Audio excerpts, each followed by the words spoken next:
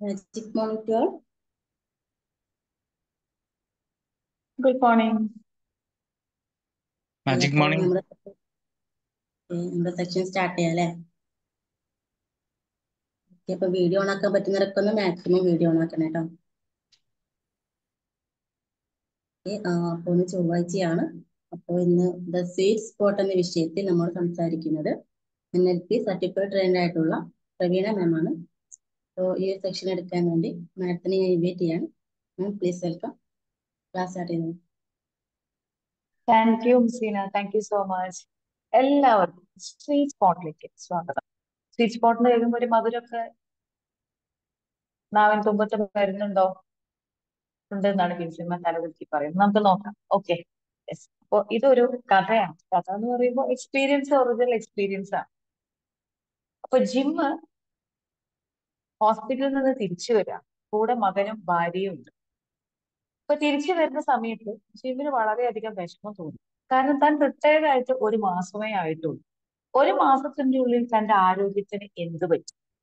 തന്റെ sugar shoot ചെയ്തിട്ടുണ്ട് എന്നാണ് ഡോക്ടർ പറഞ്ഞത്. തനിക്ക് ഭയങ്കര ക്ഷീണമുണ്ട് പ്രഷറിൽ വേരിയേഷൻ ഉണ്ട്. പക്ഷെ ജിം ആലോചിക്കുന്നത് താൻ വളരെ ഹെൽത്തി ആയിട്ടുള്ള ഒരു വ്യക്തിയായിരുന്നു. പിന്നെ എന്താണ് എനിക്ക് സംഭവിച്ചത് എന്നാണ് ജിമ്മ് തെരഞ്ഞു നോക്കുന്നത്? ഇപ്പൊ ജിമ്മ് ഒരു റിട്ടയർ ആയിട്ട് ഏകദേശം ഒരു മാസമായി എന്ന് ഞാൻ പറഞ്ഞു അപ്പൊ ഈ ഒരു മാസത്തിനുള്ളിൽ തനിക്ക് എന്താണ് സംഭവിച്ചത് എന്ന് ജിമ്മ് ഒന്ന് തിരിഞ്ഞു നോക്കുക കൃത്യമായിട്ടുള്ള ഒരു റൂട്ടീൻ ജിമ്മിന് ഉണ്ടായിരുന്നു റിട്ടയർമെന്റ് വരെ. അത് കഴിഞ്ഞപ്പോൾ ജിമ്മ് പിന്നെ ജീവിതം ആസ്വദിക്കാൻ അതായത് ഇഷ്ടമുള്ള സമയത്ത് എഴുന്നേൽക്കുക ഇഷ്ടമുള്ള ഭക്ഷണം കഴിക്കുക എന്നൊരു രീതിയിലേക്ക് ഇഷ്ടമുള്ള സമയത്ത് യാത്ര ചെയ്യുക ഇങ്ങനെയുള്ള ഇഷ്ടങ്ങളിലേക്കാണ് ജിമ്മ് കൂടുതൽ ശ്രദ്ധിച്ചത്. പക്ഷെ ആ ജിം പോകുന്ന ശ്രദ്ധിച്ച സമയത്ത് ജിമ്മിന് എവിടേക്കോ ഹെൽത്തിൽ ചെറിയ പ്രോബ്ലംസ് വന്നതുകൊണ്ടാണ് ഇപ്പൊ ജിമ്മ് ഹോസ്പിറ്റലായിരിക്കുന്നത് അപ്പൊ ജിമ്മ് ജിമ്മിനോട് ഡോക്ടർ പറഞ്ഞത് ഇത്രയേ ഉള്ളൂ. ജീവിതത്തിൽ പുതിയൊരു ഹാബിറ്റ് കൊണ്ടുവരണം. അപ്പൊ എന്താണ് ഒരു ഹാബിറ്റ് എന്ന് ചോദിച്ചാൽ ഡോക്ടർ പറഞ്ഞത് ഒരു എക്സസൈസ് ഒരു പക്ഷെ ജിമ്മ് എക്സസൈസ് ഒന്നും ചെയ്തിട്ടുണ്ടായിരുന്നില്ല ചെയ്യാറും ഉണ്ടായിരുന്നില്ല. അപ്പൊ എക്സസൈസ് എന്നൊരു ഹാബിറ്റ് കൊണ്ടുവന്നാൽ കുറെയൊക്കെ നിങ്ങളുടെ ഈ ശരീരത്തിന്റെ മാറ്റങ്ങളിൽ നിന്ന് വേരിയേഷൻ ഉണ്ടാക്കാനും കുറച്ചുകൂടി ഹെൽത്തി ആയിട്ട് മുന്നോട്ട് പോകാം ഒക്കെ എന്നൊക്കെ ജിമ്മിനോട് പറയണം. അപ്പൊ ജിമ്മിന് നോക്കുമ്പോൾ തനിക്ക് ഒരിക്കലും ശീലമില്ലാത്ത കാര്യമാണ് ഈ എക്സസൈസ് എന്ന് പറയുന്നത്. പക്ഷെ ഈ ഹാബിറ്റ് തന്റെ ജീവിതത്തിൽ ഇപ്പൊ കൊണ്ടുവരേണ്ട ഒരു ആവശ്യകതയും വന്നിരിക്കും ഇതിന് എന്താണ് ഒരു പോകുമ്പോൾ അപ്പൊ ജിമ്മിന്റെ മകൻ പറയുന്ന ഒരു സജഷൻ വെച്ചാൽ മകൻ ദിവസവും ജിമ്മ് പോകും നമ്മുടെ ജി വൈ എം ജിമ്മിൽ പോകും അപ്പോ പിന്നെ മകൻ പറയും ഒരു കാര്യം ചെയ്യും. അച്ഛൻ രാവിലെ എന്റെ കൂടെ പോന്നാ മതി. പപ്പ എന്റെ കൂടെ ദിവസം ജിമ്മിലേക്ക് പോരും. ഞാനൊരു അഞ്ചു മണിയാകുമ്പോൾ സ്റ്റാർട്ട് ചെയ്ത് നമുക്ക് ജിമ്മിലൊക്കെ പോയിട്ട് തിരിച്ചു വരാം തിരിച്ചു വരാം. അപ്പൊ ജിമ്മി കഴിച്ചു. ഓക്കെ ശരി. എങ്കിൽ പിന്നെ അതാവാം. ഒരു എക്സസൈസ് എന്നുള്ള ഹാബിറ്റ് ഒന്ന് തുടങ്ങി വെക്കുന്നത് നല്ലതാണ് അപ്പൊ ആ ഹാബിറ്റ് സ്റ്റാർട്ട് ചെയ്യാൻ ജിം അങ്ങ് തീരുമാനം. രാവിലെ നാലരയ്ക്ക് എഴുന്നേറ്റ് റെഡിയായി മകന്റെ ഒപ്പം ബൈക്കിൽ ജിമ്മിലേക്ക് ജിമ്മും മകനും കൂടി യാത്ര ചെയ്തു അപ്പൊ പോയി തിരിച്ചു വരുമ്പോൾ ജിമ്മിന് പക്ഷെ ഏകദേശം ഒരാഴ്ച കഴിഞ്ഞപ്പോൾ ഈ ഒരു ഈ വർക്കൗട്ട് ചെയ്യുന്നത് അത്ര എനിക്ക് ഇഷ്ടപ്പെടുന്നില്ല എനിക്ക് അതങ്ങ് ഫോളോ ചെയ്യാൻ പറ്റത്തില്ല. വെയിറ്റ് തൂക്കണം അല്ലെങ്കിൽ അവിടെ നടക്കണം വാക്കിംഗ് പിന്നെ കുറെ സൈക്കിൾ പോലത്തെ സാധനങ്ങളുണ്ട്. എല്ലാവരും തിരക്കിലാണ്. അപ്പൊ ജിമ്മിന് അത് അത്ര ഇങ്ങോട്ട് ഇഷ്ടപ്പെടുന്നില്ല അപ്പൊ അതൊക്കെ പക്ഷെ മകനോട് പറയാനും വയ്യ. കാരണം ഹെൽത്തിൽ ആകെ ഒരു ഇഷ്യൂസ് വന്നിരിക്കുന്ന സമയമാണ്. ഇത് ചെയ്യില്ല എന്ന് പറഞ്ഞ മകൻ ദേഷ്യപ്പെടും. തീർച്ചയാണ്. കാരണം ഹെൽത്തി ആയിട്ട് ഇരിക്കണം എന്ന് മകൻ ആഗ്രഹിക്കും. അപ്പൊ ജിം എന്ത് ചെയ്തു? മകനോട് പതുക്കെ ഇങ്ങനെ പറഞ്ഞു എനിക്ക് ജിമ്മിന് പോകാൻ എന്തോ എനിക്കൊരു താല്പര്യമില്ല. അല്ലെങ്കിൽ എനിക്കത് പറ്റുന്നില്ല. എനിക്കത് ഒരുപാട് ടയേർഡ്നെസ് ഫീൽ ചെയ്യുന്നുണ്ട് എന്ന് പറയുന്നത് അപ്പൊ അപ്പം ഇത് പിന്നെ ജിം എന്ത് ചെയ്യും തന്റെ സുഹൃത്തിനോട് ഷെയർ ചെയ്യും സുഹൃത്തിനോട് ഷെയർ ചെയ്ത് സുഹൃത്ത് പറയും ശരി അങ്ങനെയാണ് നീ ചെയ്യും. എന്തായാലും എക്സസൈസ് ചെയ്തല്ലേ പറ്റുള്ളൂ. അപ്പൊ അത് ചെയ്തേ പറ്റുള്ളൂ. അങ്ങനെ വീട്ടിൽ കൊണ്ടുവരാൻ ഡോക്ടർ ആവശ്യപ്പെട്ടു. ഓക്കെ എങ്കിൽ പിന്നെ യോഗ ആയിരിക്കും കുറച്ചും കൂടി നിനക്ക് നല്ലത്. കാരണം കുറച്ചും കൂടി നമുക്ക് ഏജ്ഡ് ആയിട്ടുള്ള വ്യക്തികളല്ലേ. അപ്പൊ കുറച്ച് സ്ലോ ആയിട്ടുള്ള മൂവ്മെന്റ്സ് ഒക്കെ യോഗയിലുണ്ട്. അപ്പൊ അതൊരു റൂട്ടീൻ ആയിട്ട് ഒരു എക്സസൈസ് പോലെ കൊണ്ടുവന്നാൽ ദിവസവും വീട്ടിലിരുന്ന് വേണമെങ്കിലും ചെയ്യാം. അതല്ലെങ്കിൽ ആ യോഗ പഠിക്കുന്നവരെ ഒരു യോഗ ഇൻസ്ട്രക്ടറുടെ അടുത്ത് പോയാൽ മതി. അപ്പൊ ജിം ഇത് മകനോട് വന്നപ്പോഴത്തേ മകനുണ്ട് ഒരു വെഹിക്കിൾ അറേഞ്ച് കാരണം രാവിലെ അവിടെ എത്തണ്ട. അഞ്ചു മണിക്ക് യോഗ സ്റ്റാർട്ട് ചെയ്യും. അപ്പൊ രാവിലെ തന്നെ ചെയ്യാനുള്ള ഡോക്ടർ ആവശ്യപ്പെട്ടു. ഓക്കെ അപ്പൊ ജിം എന്ത് ചെയ്തു? ഈ വെഹിക്കിളിൽ രാവിലെ ഇങ്ങനെ പോവും. ഇതേപോലെ യോഗ പ്രാക്ടീസ് ചെയ്ത് തുടങ്ങി. ഇതേപോലെ ഒരാഴ്ച കഴിഞ്ഞപ്പോൾ ജിമ്മിന് വീണ്ടും ഇത് പറ്റുന്നില്ല. യോഗയൊന്നും എനിക്ക് പറ്റുന്നില്ല എന്നുള്ള രീതിയിലായി. ഈ ഹാബിറ്റും തന്നെ കൊണ്ട് പറ്റുമെന്ന് എനിക്ക് തോന്നുന്നില്ല എന്ന് ചെയ്യുമ്പോൾ മനസ്സിലാക്കി.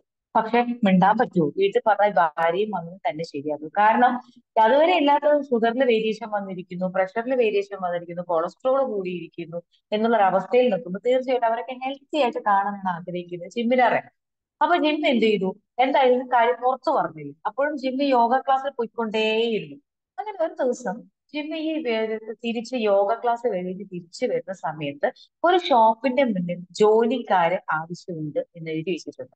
അപ്പൊ കണ്ടപ്പോ ഒരു ചെറിയൊരു പിന്നെ പെട്ടിക്കട പോലെ തോന്നിക്കുന്നതാണെങ്കിലും അത്യാവശ്യം പുറത്ത് നിന്ന് നോക്കുമ്പോൾ ജിമ്മ് എന്ത് ചെയ്തു? ആ വെഹിക്കിൾ അവിടെ നിർത്തിയിട്ട് ഡ്രൈവറോട് നിർത്താൻ പറഞ്ഞു ഇന്ന് ഇറങ്ങി നിന്നു. അപ്പൊ അവിടെ ജോലിക്കാരെ അപ്പൊ പക്ഷെ അവിടെ തുറന്നിട്ടില്ല. അപ്പൊ ശരി അവിടെ നമ്പർ എഴുതി വെച്ചിട്ടുണ്ട്. ജിം എന്ത് ചെയ്തു? ആ നമ്പർ കയ്യിലെടുത്ത് വീട്ടിൽ പോയി. അതിലൊന്നും ആരും അറിയാതെ വിളിച്ചു. അപ്പൊ അവർ പറഞ്ഞത് അതൊരു റോസിയുടെ കടയാണ്. ബേക്കിംഗ് ഷോപ്പാണ്. അപ്പൊ റോസി പറഞ്ഞത് എനിക്ക് ഫുൾ ടൈം ജോലിക്കാരെ ആവശ്യമില്ല. എനിക്ക് വേണ്ടത് ഒരു ഒരു മണിക്കൂർ നേരം എട്ട് മണി മുതൽ എനിക്ക് എന്റെ ബേക്ക് ചെയ്ത സാധനങ്ങൾ പാക്ക് ചെയ്യാനുള്ള ഒരു സഹായിയാണ് ആവശ്യം. അപ്പൊ അതിനുള്ള എമൗണ്ട് എനിക്ക് തരാൻ സാധിക്കും. ജിം കഴിച്ചു ഓക്കെ അതൊന്ന് ട്രൈ ചെയ്താൽ അപ്പൊ ജിം എന്ത് ചെയ്തു? എക്സസൈസ് അപ്പോഴും നിർത്താൻ പാടില്ല.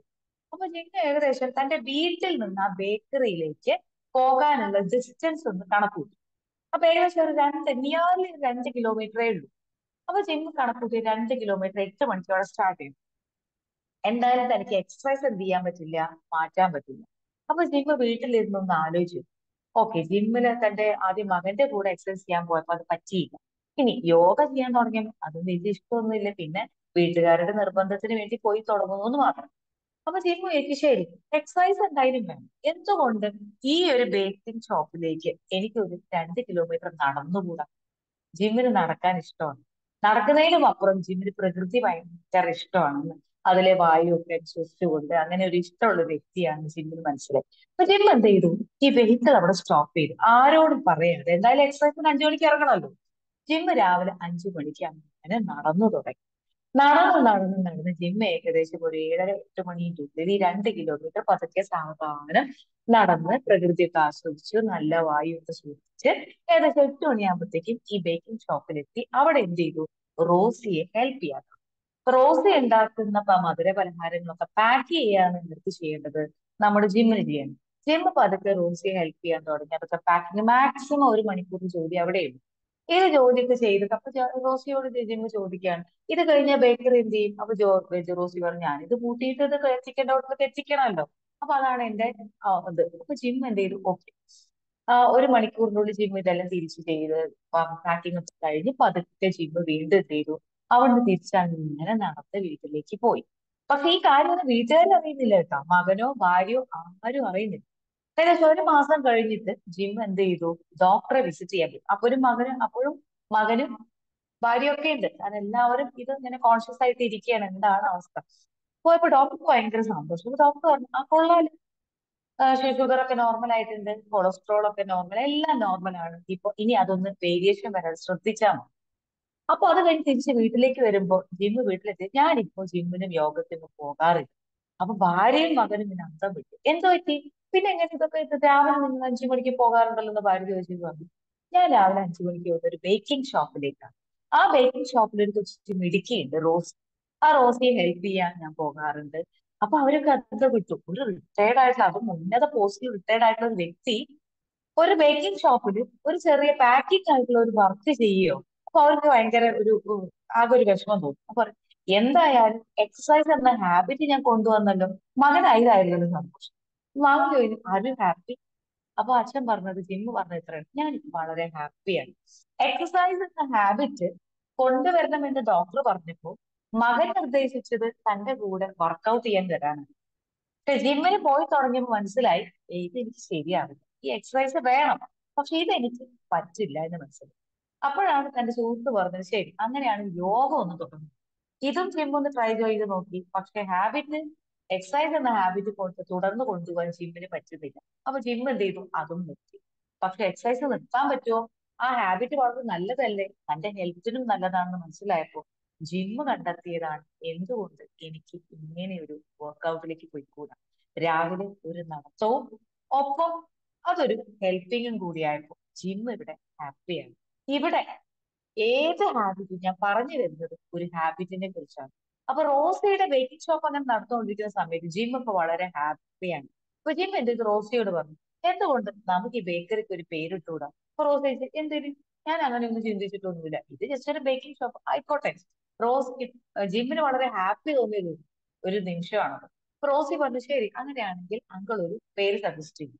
അങ്ങനെ ജിമ്മ് സജസ്റ്റ് ചെയ്ത പേരാണ് സ്വീറ്റ് സ്പോട്ട് അതായത് തന്റെ സ്വീറ്റ്നെസ് ബ്ലഡിലുള്ള സ്വീറ്റ്നെസ് കുറയ്ക്കാനും തന്റെ എക്സസൈസ് എന്ന ഹാബിറ്റ് ജീവിതത്തിലേക്ക് കൊണ്ടുവരാനും ഹെൽപ്പ് ചെയ്ത് ഒരു പക്ഷേ ബേക്കിംഗ് ആയിട്ടുള്ള ഈ ഒരു ഷോപ്പാണ് അപ്പൊ അതിനൊരു സ്വീറ്റ് സ്പോട്ട് എന്ന പേരിടുകയും പിന്നീട് അത് ജിം എന്ത് ചെയ്തു? റോസിയോട് പറഞ്ഞു അതൊരു ബേക്കറി ആയിട്ട് മാറ്റുകയും റോസിയും വളരെ ഹാപ്പി കാരണം ജീവിതം രണ്ടറ്റം കൂട്ടിമുട്ടിക്കാൻ റോസി ഒരുപാട് ബുദ്ധിമുട്ടുന്നുണ്ടായിരുന്നു. ഇങ്ങനെ ഒരു സജഷൻ ജിം നൽകിയതോടുകൂടി അതൊരു ബേക്കറി ആയിട്ട് മാറുകയും വളരെ നല്ല രീതിയിൽ ജിമ്മിന്റെ സഹായത്തോടു കൂടി റോസി അത് വളരെ നന്നായി കൊണ്ടുപോയി ചെയ്തു. ഇനി പറഞ്ഞു വരുന്നത് ബേക്കറിയെ കുറിച്ചോ മധുരത്തെ കുറിച്ചോ ഒന്നുമല്ല. ഇവിടെ ഡോക്ടർ നിർദ്ദേശിച്ച ഒരു ഹാബിറ്റ് കൊണ്ടുവരാൻ ജിമ്മ് കണ്ടെത്തിയ വഴികളെ കുറിച്ചാണ്. എക്സസൈസ് എന്ന ഹാബിറ്റ് തനിക്ക് കൊണ്ടുവന്നേ പറ്റൂ. കാരണം ഈ ഒരു ഏജിൽ തനിക്ക് ഹെൽത്തി ആയിട്ടിരിക്കാൻ അത് വേണമെന്ന് നിർദ്ദേശിച്ചിരിക്കുന്ന ഡോക്ടറാണ് പക്ഷെ ഡോക്ടർ പറഞ്ഞെങ്കിലും അത് ഏത് രീതിയിൽ വേണം എന്നുള്ളത് ജിമ്മ് ചൂസ് ചെയ്തതിലാണ് ജിമ്മിന്റെ വിഷയം ഒരു പക്ഷെ നമ്മുടെ ജീവിതത്തിലൊക്കെ നമുക്കൊരു ഹാബിറ്റ് കൊണ്ടുവരാൻ ആഗ്രഹം ഉണ്ടാകും ഇപ്പൊ റീഡിങ് ഹാബിറ്റ് പലരും വീട്ടുകാരൊക്കെ കുട്ടികൾക്ക് ചെയ്യുന്നതാണ്. റീഡിങ് വളരെ നല്ലതാണ്. ഇത് കേൾക്കുന്ന കുട്ടികൾ വായിക്കും നല്ല നല്ലതാണ്. എന്നിട്ട് എന്ത് ചെയ്യും? പാരന്റ്സ് അവർക്ക് ഇഷ്ടപ്പെട്ട കുറച്ച് പുസ്തകങ്ങൾ അവരെ കൊണ്ട് അങ്ങ് വായിപ്പിക്കാൻ അങ്ങ് തുടങ്ങും. ഈ ഒരു ഹാബിറ്റ് കൊണ്ടുവരാനുള്ള ഒരു ശ്രമത്തിലാണ്. പക്ഷെ കുട്ടികൾക്ക് എനിക്ക് എന്താണ് ഇഷ്ടം എന്നൊരു രീതിയിലേക്ക് നമ്മൾ മാറുമ്പോൾ മാത്രമേ നമുക്കൊരു ഹാബിറ്റ് ജീവിതത്തിൽ കൊണ്ടുവരാൻ പറ്റുള്ളൂ. ഒരു ഹാബിറ്റ് ജീവിതത്തിൽ കൊണ്ടുവരണമെങ്കിൽ നമ്മൾ കുറച്ച് എനർജി സ്പെൻഡ് ചെയ്യേണ്ടതുണ്ട്. അതിലേക്ക് നമ്മൾ ഇത് കോൺഷ്യസ് ആയിട്ട് കുറച്ച് എനർജി സ്പെൻഡ് പക്ഷെ നമ്മൾ കൂടുതൽ എനർജി ഇപ്പൊ ജിമ്മ് ചെയ്തതുപോലെ മക നിർദ്ദേശിച്ചതുപോലെ ഒരു വർക്കൗട്ടിൽ പോയിരുന്നെങ്കിൽ ഒരുപാട് എനർജി അവിടെ യൂസ് ചെയ്യുന്നുണ്ട്. പക്ഷെ അത് ജിമ്മിന് എന്ത് പറ്റുന്നില്ല? സാറ്റിസ്ഫൈഡ് അല്ല. അല്ലെങ്കിൽ അത് ജിമ്മിന് അത് ഈസി ആയിട്ട് തോന്നിയില്ല. അപ്പൊ ജിം എന്ത് ചെയ്തു? അതവിടെ നിർത്തി. ഈ യോഗയോ അതും ജിമ്മിന് ഈസിനെസ് തോന്നിയില്ല. എന്നാ ഹാബിറ്റ് കൊണ്ടുവരേം വേണം. അപ്പൊ നമ്മുടെ ജീവിതത്തിലും ഏത് ഹാബിറ്റ് കൊണ്ടുവരണമെങ്കിലും നമുക്കത് സാറ്റിസ്ഫൈഡ് ആയിട്ടും ഈസി ആയിട്ടും ചെയ്യാൻ പറ്റണം എന്ന് സൈക്കോളജി പറയും നമ്മുടെ ബ്രെയിൻ എന്ന് പറയുന്നത് നമ്മളെ ഏറ്റവും കാം ആൻഡ് ക്വയറ്റ് ആയിട്ട് ഈ ലേസിനെസ് അല്ലെങ്കിൽ നമ്മൾ ഈസി ആയിട്ട് കൊണ്ടുപോകാൻ എന്തൊക്കെ വഴികളുണ്ടോ അത് തേടുക എന്നുള്ളതാണ്. അപ്പൊ ഒരു ഹാബിറ്റ് കൊണ്ടുവരാൻ നിങ്ങൾ ആഗ്രഹിക്കുന്നെങ്കിൽ അല്ലെങ്കിൽ നിങ്ങളുടെ കുട്ടികളോ അല്ലെങ്കിൽ നിങ്ങളുടെ ഫ്രണ്ട്സോ ആരെങ്കിലും ഹാബിറ്റ് കൊണ്ടുവരാൻ ആഗ്രഹിക്കുന്നുണ്ടെങ്കിൽ അവരോട് സജസ്റ്റ് ചെയ്ത് ഇത്ര കാര്യമുള്ളൂ. നിങ്ങൾ ഏത് ഹാബിറ്റാണോ കൊണ്ടുവരാൻ ആഗ്രഹിക്കുന്നത് അത് ഏറ്റവും ഈസി ആയിട്ട് അച്ചീവ് ചെയ്യാനുള്ള വഴികൾ കണ്ടെത്തുക. എങ്ങനെയാണ് ഈസി ആയിട്ട് അച്ചീവ് ചെയ്യാന്ന് ചോദിച്ചാൽ അത് ഇഷ്ടപ്പെട്ട് ചെയ്യാനുള്ള ഒരു വഴി കണ്ടെത്താൻ അവരോട് ആവശ്യപ്പെടുക. ഇവിടെ ജിമ്മ് ചെയ്ത് നോക്കൂ. തനിക്ക് എക്സസൈസ് എന്ന ഹാബിറ്റ് കൊണ്ടുവന്നേ പറ്റൂ. പക്ഷെ വർക്കൗട്ട് ചെയ്യാൻ തന്നെ കൊണ്ട് പറ്റുന്നില്ല. എന്നാൽ യോഗയോ അതും സാധിക്കുന്നില്ല. പക്ഷെ ജിമ്മ് കണ്ടെത്തിയ വഴി എന്താണ്? എന്തുകൊണ്ട് നടന്നുകൂടാ? എനിക്ക് നടക്കാൻ ഇഷ്ടമാണ്. പ്രത്യേകിച്ച് ശാന്തമായ റോഡിലൂടെ പ്രകൃതിയെല്ലാം ആസ്വദിച്ച് നല്ല വായുവൊക്കെ ശ്വസിച്ചുകൊണ്ട് നടക്കാനുള്ള ഒരു തീരുമാനം ജിമ്മ് എടുക്കുമ്പോൾ അവിടെ ഹാബിറ്റ് എക്സസൈസ് എന്ന ഹാബിറ്റ് ജീവിതത്തിലേക്ക് കൊണ്ടുവരും. പതുക്കെ നടന്നപ്പോ ജിമ്മിലേക്ക് ശരീരത്തിലേക്ക് മാറ്റങ്ങൾ കൊണ്ടുവരും. അപ്പൊ ആ എക്സസൈസ് എന്ന ഹാബിറ്റ് എന്ത് ചെയ്തു? ജിമ്മ് തന്റെ ജീവിതത്തിലേക്ക് കൊണ്ടുവന്നു അപ്പൊ എന്ത് ചെയ്യുമ്പോഴും ഏത് ഹാബിറ്റ് നിങ്ങളുടെ ജീവിതത്തിലേക്ക് കൊണ്ടുവരണം എന്ന് നിങ്ങൾ ആഗ്രഹിക്കുന്നുണ്ടെങ്കിൽ അത് നിങ്ങൾക്ക് ഏറ്റവും സാറ്റിസ്ഫൈഡ് ആയിട്ടുള്ള രീതിയിലും കൂടാതെ അത് വളരെ എളുപ്പത്തിൽ എങ്ങനെ അച്ചീവ് ചെയ്യാം എന്നുള്ള വഴികൾ നമുക്ക് ഇഷ്ടപ്പെട്ട് അത് എങ്ങനെ ജീവിതത്തിലേക്ക് കൊണ്ടുവരാം എന്നുള്ള വഴികൾ നമ്മൾ പേഴ്സണലൈസ് ചെയ്ത് നമ്മൾ കണ്ടെത്തണം എന്നാണ് പറയുന്നത്. ഇപ്പൊ ഒരുപാട് റീഡിങ് ബുക്സ് ഒരുപാട് ബുക്കുകളുടെ കാര്യത്തിൽ തന്നെ നമുക്ക് നോക്കുകയാണെങ്കിൽ നോവലുകളുണ്ട് കഥകളുണ്ട് ഇനി ഇപ്പൊ കവിതകളുണ്ട്. ഇനി ഫിക്ഷൻ ആയിട്ടുള്ള കാര്യങ്ങളുണ്ട് ഒരുപാട് പുസ്തകങ്ങളുണ്ട്. പക്ഷെ എന്നെ കുറിച്ച് എന്റെ സംബന്ധിച്ച് എനിക്ക് റീഡിങ് അതേപോലെ ഇഷ്ടമാണ്. പക്ഷെ എനിക്ക് കഥകളും കവിതകളും ഒന്നും എനിക്ക് വലിയ താല്പര്യമുള്ള വ്യക്തിയല്ല. പക്ഷെ എനിക്ക് ഇതേപോലെ നമ്മുടെ മനസ്സുമായിട്ട് ബന്ധപ്പെട്ട അത്തരം കാര്യങ്ങൾ വായി വായിക്കാൻ ഏറെ ഇഷ്ടമാണ്. അപ്പൊ ഈ വായിക്കുന്നത് ഇഷ്ടമായതുകൊണ്ട് തന്നെ ഇത് വായന കണ്ടിന്യൂ ചെയ്യണമെങ്കിൽ എന്ത് ചെയ്യണം? ഇത് പഠിച്ചത് വായിച്ചത് ആർക്കെങ്കിലും ഷെയർ ചെയ്യണം. അങ്ങനെയായിരിക്കുമ്പോഴാണ് ഇങ്ങനെ ഒരു പ്ലാറ്റ്ഫോം ബി മാജിക്കിന്റെ പ്ലാറ്റ്ഫോം കിട്ടുന്നത്. അപ്പൊ എന്തുകൊണ്ട്? വായിക്കാൻ ഇഷ്ടമുള്ളത് കൊണ്ട് തന്നെ ഇത്തരം പുസ്തകങ്ങൾ വായിക്കുമ്പോൾ അത് വായന എന്നൊരു ഹാബിറ്റ് കൊണ്ടുവരാൻ മാത്രമല്ല അതിലൂടെ എനിക്ക് ഇഷ്ടപ്പെട്ട് ചെയ്യാനുള്ള ഒരു പ്ലാറ്റ്ഫോം എനിക്ക് വന്നു ചേർന്നു എന്നുള്ളതാണ്. അപ്പൊ ഒരു ഹാബിറ്റ് കൊണ്ടുവരണമെങ്കിൽ അത് കണ്ടെത്തേണ്ടത്. ആ അത് കണ്ടല്ലെങ്കിൽ അത് നിങ്ങളുടെ ജീവിതത്തിലേക്ക് കൊണ്ടുവരേണ്ടത് ഏറ്റവും ഈസി ആയിട്ടും ഏറ്റവും സാറ്റിസ്ഫൈഡ് ആയിട്ട് രീതിയിൽ കൊണ്ടുപോകാനാണ്. നിങ്ങളുടെ ജീവിതത്തിൽ ഏത് ഹാബിറ്റ് ആണ് കൊണ്ടുവരേണ്ടത് എന്ന് നിങ്ങൾ ആലോചിച്ച് നോക്കുക. ആ ഹാബിറ്റ് കൊണ്ടുവരാൻ ഏറ്റവും ഇഷ്ടപ്പെട്ട രീതിയിൽ അത് കൊണ്ടുവരാനുള്ള വഴികൾ നിങ്ങൾ ഓരോ വ്യക്തികളും നിങ്ങളുടേതായ രീതിയിൽ കണ്ടെത്തേണ്ടതുണ്ട്. കാരണം ചിലർക്ക് എക്സസൈസ് എന്ന് പറയുന്നത് ജിമ്മിൽ വർക്കൗട്ട് ചെയ്യാൻ പോകുന്നതാണ് ഏറ്റവും ഇഷ്ടം. മറ്റു ചിലർക്ക് യോഗ ചെയ്യുന്നത് ഇഷ്ടം. എന്നാൽ മറ്റു ചിലർക്ക് സൂംബ ചെയ്യുന്നതാണ് ഇഷ്ടം. കുറച്ചും കൂടി എനർജൈസ പാട്ടൊക്കെ വെച്ച് അത്തരത്തിലുള്ള ഒരു എക്സസൈസ് ആണ് ഇഷ്ടം. പക്ഷെ ചിലർക്ക് അതും അല്ല ഇഷ്ടം. പക്ഷെ ഇവിടെ ചിലർ നടക്കുന്നതാണ് ഇഷ്ടം. അപ്പൊ നോക്കൂ ഈ ഒരു എക്സസൈസ് എന്ന ഹാബിറ്റ് പല വ്യക്തികളും പല രീതിയിലാണ് കൊണ്ടുപോകുന്നത്. നമുക്ക് ഒരു ഹാബിറ്റ് കൊണ്ടുവരണമെങ്കിൽ അത് ഏത് രീതിയിലാണ് എന്റെ ജീവിതത്തിലേക്ക് ഞാൻ കൊണ്ടുവരേണ്ടത് നമുക്ക് കണ്ടെത്തേണ്ടിയിരിക്കുന്നു എന്നർത്ഥം. അല്ലാതെ മറ്റുള്ള വ്യക്തികൾ സജസ്റ്റ് ചെയ്യുന്നതാവരുത് ഒരു ഹാബിറ്റ് കൊണ്ടുവരുന്നതിലേക്ക് നമ്മളെ മോട്ടിവേറ്റ് ചെയ്യുന്നത്. നമ്മളെ മോട്ടിവേറ്റ് ചെയ്യുന്ന ഫാക്ടർ കണ്ടെത്തുക. ആ കണ്ടെത്താൻ ഇപ്പൊ നേരത്തെ എഴുന്നേൽക്കണം. പക്ഷെ നേരത്തെ എഴുന്നേറ്റ് ഞാൻ അഞ്ചു മണിക്ക് ആരോ പറഞ്ഞു അഞ്ചു മണിക്ക് എഴുന്നേറ്റ് ബി മാജിക്കിൽ ജോയിൻ ചെയ്താൽ നല്ലതാണ്. രാവിലെ എഴുന്നേൽക്കുകയും ചെയ്യാം ക്ലാസ്സും കേൾക്കാം പക്ഷെ എനിക്ക് അതിനെ മോട്ടിവേറ്റ് ചെയ്യണം. ഇതിന് മോട്ടിവേറ്റ് ചെയ്യുന്ന ഫാക്ടർ എന്താണെന്ന് കണ്ടെത്തുക. ചില സമയത്ത് നിങ്ങൾ ക്ലാസ് കേട്ട് ഒരു പക്ഷെ നല്ലൊരു ട്രെയിനർ ആവാൻ ആഗ്രഹമുണ്ടാവും. അപ്പൊ എന്ത് ചെയ്യും? ഈ ക്ലാസ് കയറിയാൽ നിങ്ങൾക്ക് എന്ത് ചെയ്യാം? അങ്ങനെ ഒരു ലെവലിലേക്ക് നിങ്ങൾക്ക് ഉയരാൻ പറ്റും. ഇനി മെഡിറ്റേഷൻ ആണ് താല്പര്യമുള്ള വ്യക്തികളെങ്കിൽ രാവിലെ എഴുന്നേറ്റ് മെഡിറ്റേറ്റ് ചെയ്തതിനു ശേഷം നല്ല നല്ല കാര്യങ്ങൾ കേൾക്കാം. അപ്പൊ എനിക്ക് ഏത് മേഖലയാണോ ഒരു ഹാബിറ്റിലൂടെ കൊണ്ടുവരാൻ പറ്റുന്നത് എന്ന് കണ്ടെത്തുക. ആ ഹാബിറ്റ് ആ രീതിയിലേക്ക് ട്രാൻസ്ഫോം ചെയ്യുക. അതിനൊന്ന് ഷിഫ്റ്റ് ചെയ്യുക. അപ്പൊ ഒരു ഹാബിറ്റ് ജീവിതത്തിൽ വളരെ എളുപ്പത്തിൽ കൊണ്ടുവരാൻ പറ്റും. രാവിലെ എഴുന്നേറ്റ് നിങ്ങൾക്ക് ഒന്നുകിൽ നിങ്ങൾക്ക് ഈ ക്ലാസ്സിലേക്ക് ജോയിൻ ചെയ്യാം. ചിലർക്ക് ഇരുന്ന് ക്ലാസ് കേൾക്കുന്ന ഇഷ്ടമില്ലാത്തതുകൊണ്ട് നിങ്ങൾക്ക് കാണാം. പലപ്പോഴും നമ്മുടെ ഗ്രൂപ്പിൽ ചിലർ നടന്നുകൊണ്ട് ക്ലാസ് കേൾക്കുന്നുണ്ട്. അപ്പൊ അവർക്ക് പുറത്തേക്കൊന്ന് ഇറങ്ങിയിട്ട് എന്ത് ചെയ്യണം? ഈ ക്ലാസ് കേൾക്കാൻ താല്പര്യമുണ്ട്. എന്നാൽ ഇത് വിടാൻ പറ്റുമോ? വിടാനും പറ്റുന്നില്ല. അപ്പൊ രണ്ടുണ്ട് കാര്യം. അപ്പൊ ഈ ഹാബിറ്റ് കൊണ്ടുപോകാൻ വേണം. രാവിലെ എഴുന്നേൽക്കണം. അപ്പൊ അതിനൊരു നല്ല നല്ല കാര്യങ്ങൾ കേൾക്കണം. ഒപ്പം നടക്കാനും പുറത്തേക്ക് പോകാനും ഇഷ്ടമാണ്. അപ്പൊ ഈ ഹാബിറ്റ് എന്ന കാര്യം നമ്മൾ കൊണ്ടുവരുമ്പോൾ ശ്രദ്ധിക്കേണ്ടത് മാത്രമാണ് നമ്മുടെ വീട്ടിലായാലും നമ്മുടെ ഇഷ്ടങ്ങൾക്ക് അനുസരിച്ചിട്ടാവരുത് ഒരാൾ ഒരു ഹാബിറ്റ് ഫോർമേഷൻ നടത്തുന്നത്. എനിക്ക് ഈ ഹാബിറ്റ് കൊണ്ടുവരാൻ ഞാൻ ഏത് രീതിയിലാണോ വർക്ക് ചെയ്യേണ്ടത് അല്ലെങ്കിൽ ഏതാണോ ഞാൻ ഇഷ്ടപ്പെട്ട് ചെയ്യാൻ ആഗ്രഹിക്കുന്നത് ആ ഇഷ്ടം ഞാൻ ഇഷ്ടപ്പെട്ട് ചെയ്യാൻ ആഗ്രഹിക്കുന്ന ഹാബിറ്റിലേക്ക് കൂടി കൂട്ടിച്ചേർക്കുക.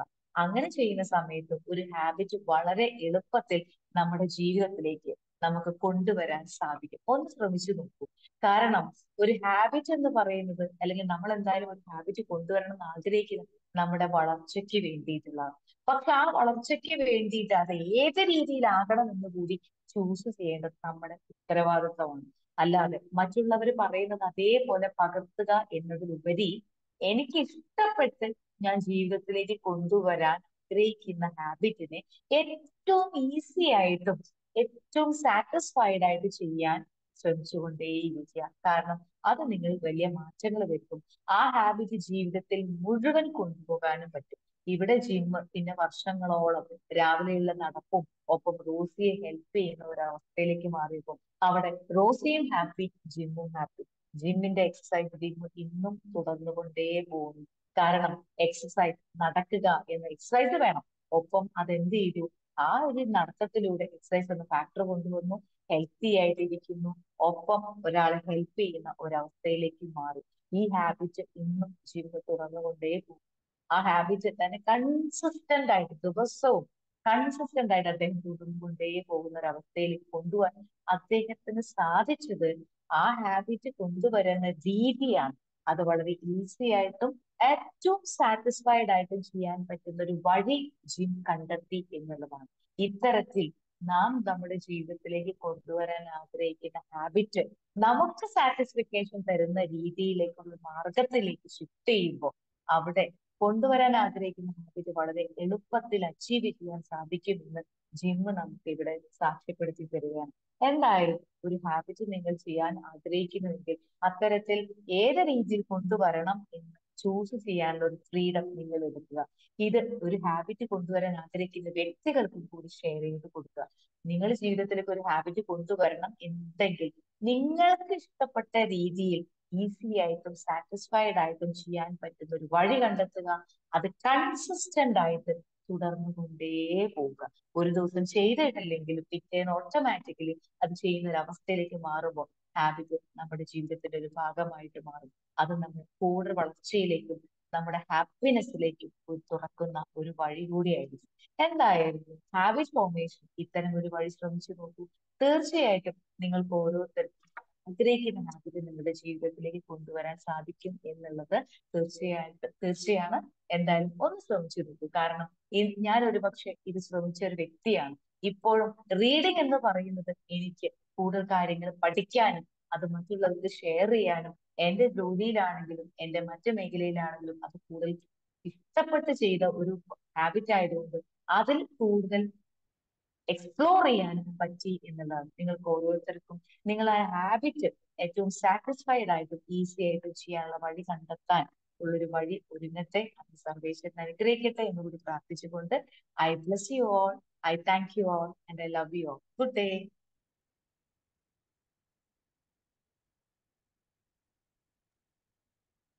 thank you ma'am ഹാബിറ്റിനെ കുറിച്ച് നല്ലൊരു അടിപൊളി ക്ലാസ് തന്നെയാണ് കാരണം നമ്മളെല്ലാവർക്കും നമുക്ക് വർക്കൗട്ട് ചെയ്യാൻ നമ്മളെല്ലാവരും എന്താ പറയുക ആദ്യം ജിമ്മിൽ പോവാ. വേറൊരാളെ സജഷൻ എടുത്തിട്ടാണ് നമ്മൾ എന്ത് കാര്യത്തിനാലും സജഷൻ തോന്നും നിന്റെ കാര്യത്തിലല്ല അങ്ങനത്തെ എനിക്ക് ഒരു പി സി എടുക്കുന്ന ഒരാളാണ് ഞാൻ. അപ്പൊ ഡോക്ടറിനോട് വെയിറ്റ് കുറയ്ക്കാൻ പറഞ്ഞിട്ട് ഞാൻ കുറെ വർക്കൗട്ട് കാര്യങ്ങളൊക്കെ നോക്കി. പക്ഷെ എന്നെ കൊണ്ട് അത് പോസിബിൾ ആയിട്ടില്ല. പിന്നെ വിചാരിച്ചു ഡയറ്റ് ചെയ്യാന്ന് കരുതി.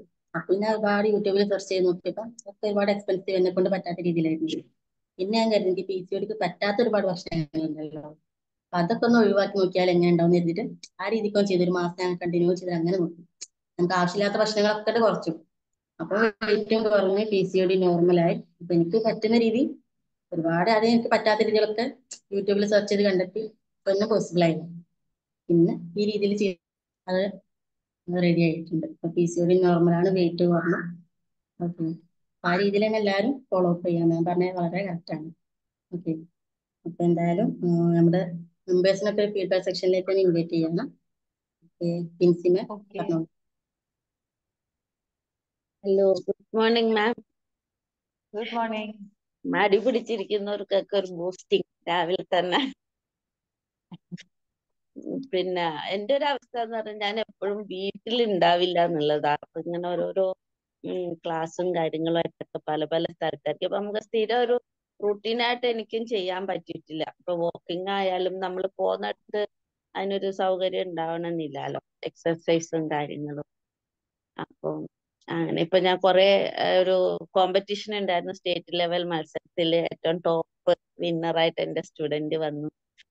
അപ്പോ അതിന്റെ ഒരു സന്തോഷത്തിലായിരുന്നു. ഇന്നലെ രാവിലെ മൂന്ന് മണിക്കാണ് ഞാൻ പാലക്കാട് എത്തിയത്.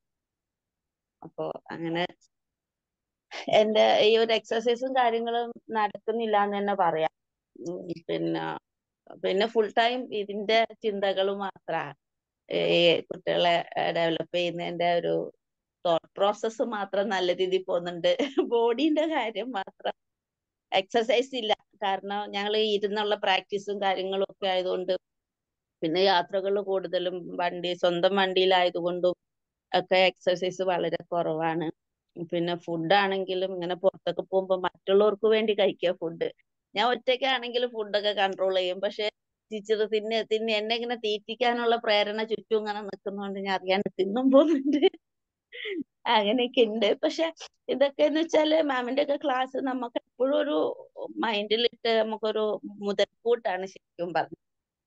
അപ്പൊ അതൊക്കെ ഒന്നും മാറ്റി എല്ലാം ലെവലാക്കി എടുക്കണം. എന്തായാലും നല്ലൊരു ക്ലാസ് ഇന്നത്തെ ദിവസം. മാമിന്റെ ക്ലാസ് എനിക്ക് എന്തോ ഭാഗ്യം കൊണ്ട് കിട്ടാറുമുണ്ട് സേവ് സാറിന്റെ ക്ലാസ് ഒക്കെ ഒരുപാട് നഷ്ടമായി അത് വലിയ നഷ്ടം തന്നെയാണ്. എന്തായാലും ഇനിയും അടുത്ത സ്റ്റേറ്റിന്റെ ജില്ലയും സ്റ്റേറ്റും ഒക്കെ വരുന്നുണ്ട്. അപ്പൊ അതിന്റെ പ്രിപ്പറേഷൻ ഉണ്ട്. അപ്പൊ എന്തായാലും എല്ലാവരുടെയും അനുഗ്രഹം ഒക്കെ കൂടി സന്തോഷമായിട്ട് പോകുന്നു താങ്ക് യു താങ്ക് യു ജിൻസേൻ ഞാൻ ഒരു കാര്യം കൂടെ കൂട്ടിച്ചേർക്കാണ് കാരണം മുസീന പറഞ്ഞ കേട്ടോ കണ്ടോ? ഞാനും എനിക്ക് ഡയറ്റ് എനിക്ക് വെയിറ്റ് കുറയ്ക്കണം എന്നുണ്ടായിരുന്നു അപ്പൊ ഞാൻ ഒരു വർക്കൗട്ട് ഒക്കെ ചെയ്ത് നോക്കി. ഇപ്പൊ എന്നെ കൊണ്ട് മനസ്സിലായി എനിക്കിത് പറ്റില്ല എന്നുള്ളത്. പിന്നെ ഞാൻ ഡയറ്റ് യൂട്യൂബ് നോക്കി ഡയറ്റിന്റെ കാര്യങ്ങൾ നോക്കി. അപ്പൊ എനിക്ക് അത് അപ്പോഴും അതും പറ്റുന്നില്ല. പിന്നെ ഞാൻ വിചാരിച്ചു എന്തെങ്കിലും എനിക്ക് ഇഷ്ടം അല്ലെങ്കിൽ എന്തെങ്കിലും ഭക്ഷണത്തിനൊക്കെ കുറച്ച് നിയന്ത്രണങ്ങൾ വിധിച്ചില്ല അപ്പൊ അങ്ങനെ കുറച്ച് എനിക്ക് അപ്പൊ അവിടെ മൂസിന് ചെയ്ത എന്താന്ന്? ആദ്യത്തെ രണ്ട് വഴികളും മൂസിനിക്ക് പറ്റുന്നില്ല എന്ന് തിരിച്ചറിഞ്ഞു പക്ഷെ മൂന്നാമത്തത് മൂസീനെ നോക്കിയപ്പം ആ ഇത് വലിയ കുഴപ്പമില്ല എന്നെ കൊണ്ട് പറ്റുന്നുണ്ട്. എന്ന് തിരിച്ചറിഞ്ഞപ്പോ മൂസീന് ഇത് ഇഷ്ടപ്പെട്ട് ചെയ്യാൻ പറ്റും. ഇഷ്ടം വേറെ കഷ്ടപ്പെട്ടിട്ടാണ് ചെയ്തു പക്ഷെ ഇവിടെ ഇഷ്ടപ്പെട്ട് ചെയ്ത് തുടങ്ങിയപ്പോൾ ആ ഒരു ഹാബിറ്റ് ചെയ്തത് കൊണ്ടുവന്നപ്പോൾ തനിക്ക് ജീവിതത്തിൽ മാത്രമല്ല തന്റെ ഹെൽത്തിന് പോലും ആ മാറ്റങ്ങൾ വരുന്ന മൂസിനെ കണ്ടു എന്ന് പറഞ്ഞു. ഇപ്പൊ ബിൻസൻ മാം പറഞ്ഞു ഇപ്പൊ പുറത്തൊക്കെ പോകുമ്പോ അങ്ങനെ ഇപ്പൊ ശരിയാണ്.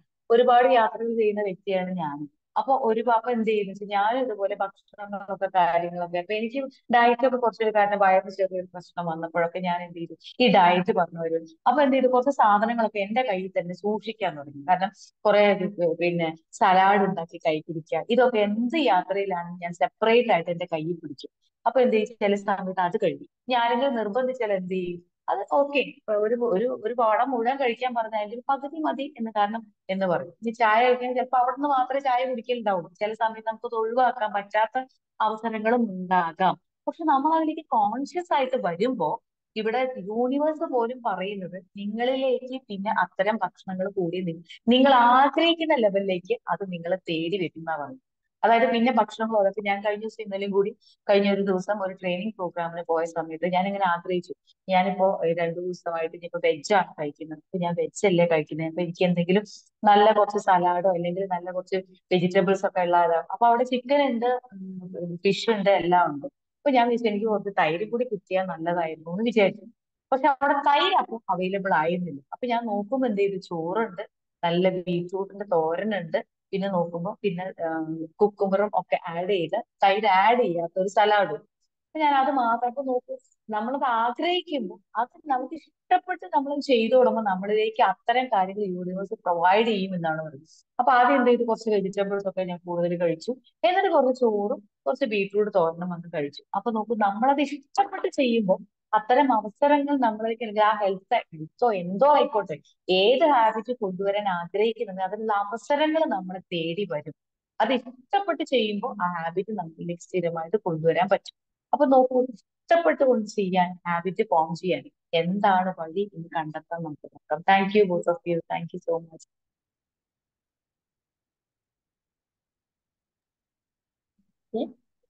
ശ്രദ്ധ സർ പറഞ്ഞോളൂ.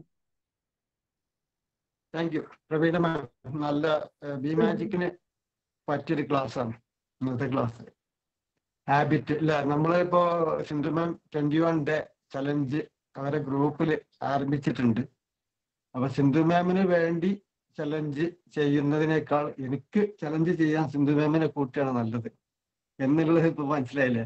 എല്ലാവർക്കും ഗ്രൂപ്പിലുള്ള അതേപോലെ തന്നെ ഇന്നിപ്പോ കേരളത്തിൽ ഒരു വൈറൽ ആയ സംഭവമുണ്ട്. എം ഇ സി സെവൻ കേട്ടിട്ടുണ്ടോ? ഇ സി സെവൻ എന്ന് പറഞ്ഞൊരു കേട്ടോ ആരെങ്കിലും കേട്ടോ? വൈറലാണ് ഭയങ്കര വൈറലാണ് ഒരു എക്സസൈസ് നാടൊട്ടാകെ ഫ്രീ ആയിട്ട് കൊടുക്കുന്നുണ്ട്. നിങ്ങളെ നാട്ടിലൊക്കെ ഉണ്ടാവും ശ്രദ്ധിക്കാഞ്ഞിട്ടാണ് എം ഇ സി സെവൻ എന്ന് പറഞ്ഞിട്ട് ഒരു സംഭവം യൂട്യൂബിലൊക്കെ അടിച്ചാൽ കിട്ടും. അത് ആ എക്സസൈസ് ഒരു ഇരുപത് മിനിറ്റ് സമയമാണ്. അത് മറ്റൊരു സംഭവത്തിന്റെ ഭാഗമാണ്. അതായത് തൊണ്ണൂറ് ദിവസം തൊണ്ണൂറ് മിനിറ്റ് ഒരാൾക്ക് വേണ്ടി ചെലവാക്കുക എന്നുള്ളൊരു തിയറി ഉണ്ട്. അതിൽ നിന്ന് എടുത്ത ഇരുപത് മിനിറ്റ് ആണ് എക്സസൈസിന് മാത്രമായിട്ട്. ഈ എക്സസൈസ് ആണ് വൈറലായത് മറ്റത് അവിടെ എടുക്കുന്നുണ്ട്. തൊണ്ണൂറ് ദിവസം തൊണ്ണൂറ് മിനിറ്റ് ഒരു ദിവസം തൊണ്ണൂറ് മിനിറ്റ് ഉപയോഗിച്ച് തൊണ്ണൂറ് ദിവസം എന്ന് പറഞ്ഞാൽ ആ ഒരു ദിവസത്തിന്റെ ഉള്ളിൽ നമ്മൾ ഗോളിലേക്ക് നമ്മൾ എത്തിയിരിക്കും എന്നുള്ളതാണ് അതിന്റെ യഥാർത്ഥ തിയറി ആ തിയറിയിൽ നിന്ന് എടുത്ത ഇരുപത് മിനിറ്റ് എക്സസൈസ് മാത്രം ഇപ്പൊ വൈറലായി കിടക്കുകയാണ്.